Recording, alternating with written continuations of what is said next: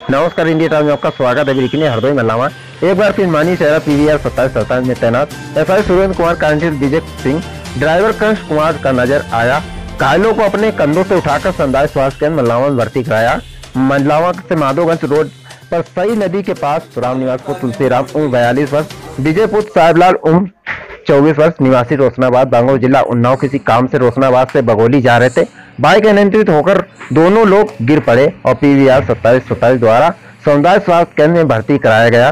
काफ़ी देर इंतज़ार करने के बाद कोई कर्मचारी के द्वारा स्ट्रेचर न मौजूद कराने के कारण स्वयं कंधों पर घायलों को अस्पताल में भर्ती कराया। वहाँ पर डॉक्टरों द्वारा इलाज किया जा रहा है। क्या नाम है तुम्हारा? विजय। ये काहे से तो एक्सीडेंट हुआ? मोटरसाइकिल से भगोड़ी जा रहे अच्छा ये रास्ते में कहाँ पे हो गया? ये नदी के पुल के साथ में। डायरेक्ट सब ये जो आए हैं मरीज़ कहाँ के हैं क्या? ये दो व्यक्तियों को घायल अवस्था में मल्लामा अस्पताल में लाया गया है हंड्रेड डायल पुलिस के द्वारा। इसमें से एक का नाम विजय कुमार है और दूसरे राम नरेश हैं। ये दोनों लोग रोशनाबाद थाना भांगरमऊ उन्नाव के रहने वाले हैं। जिनका उपचार यहाँ पर चल रहा है।